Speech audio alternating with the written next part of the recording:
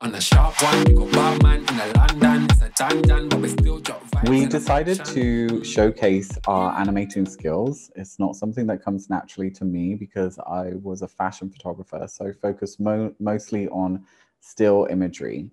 Uh, I wanted to show my models in motion, animated, doing uh, the most amazing catwalk. We started with Daz, um, brought in one of my favorite environments, and worked together with Claude from Lavie by CK to create the best virtual runway we could. The one thing that was appealing to me to collaborate with Cameron was his work ethic. He pays such close attention to details. It's just amazing once you see the results.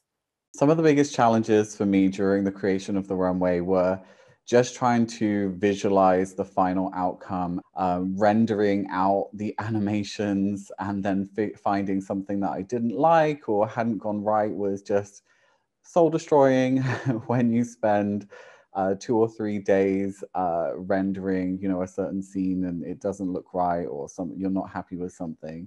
Um, so this was a lot more time consuming than than what I'm used to. But we decided to keep it very simple, and that helped cut out a lot of the uh, back and forth. Digital fashion to me means another way to represent your clothing. And another way it may affect the industry is the way we had to rethink the process of a fashion show was very much imaginary. So you're imagining what you would want a show to be. So we are moving rapidly with technology, and um, digital fashion is another way to represent the clothing. Some of the best moments were seeing the final animations come together and realizing that we were actually going to create something that was really gorgeous. the first time I saw the final show, I was actually with my sister. It was, I was, like- we were just so amazed by the work. It just, everything just came together and it looked beautiful. You really don't know what you're going to get until you've rendered out the animation and kind of played it back. Um, but seeing Shudu in motion in her custom walk uh, was just incredible. We pretty much did everything within Daz. We used their environments, animations, um, everything. I mean, Shudu and the rest of my models are all created in Daz as well. So this was almost entirely done through Daz. I think the only things we didn't do, the original outfits were created in a program called Clo uh, and simulated there and then brought into Daz. Um, but our workflow is very, very simple. We keep it to a minimum with the amount of programs that we use. The process to digitalize the collection was pretty much straightforward. Um, we got the sketches done, got the pattern made, went to our grader, got it graded, sent it over to Cameron's team.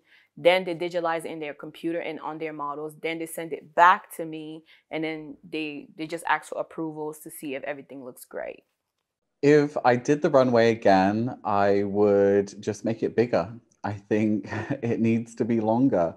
Uh, we worked for about two months and we had a minute's worth of footage. So I would probably decide to to yeah spend a bit longer on it, um, do something even even bigger, even crazier, um, and yeah, really really put on a show. If I did it again, yes, one thing I would change would be timing.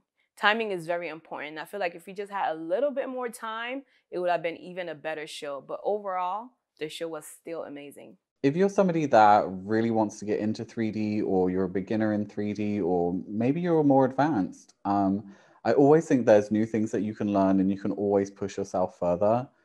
There are so many amazing tools um, that you can use within DAZ and things that I'm learning every single day. Um, so never really, never really stop learning. You know, I'm always pushing myself to to learn more about what the program can do and how it can help me achieve my goals, how I can make things look more realistic. So really keep an eye out for those those things on the store as well that are just so super useful. I think you can easily miss something um, if you don't check it for a day. Uh, that could be incredibly useful. Uh, and always don't forget to uh, just ask for help. Don't feel like you can't ask for help or ask for advice from those that you look up to. The advice I would give to other designers ex- wanting to expand into digital fashion would be to just try it. Try it and try to expand your brand to even be bigger.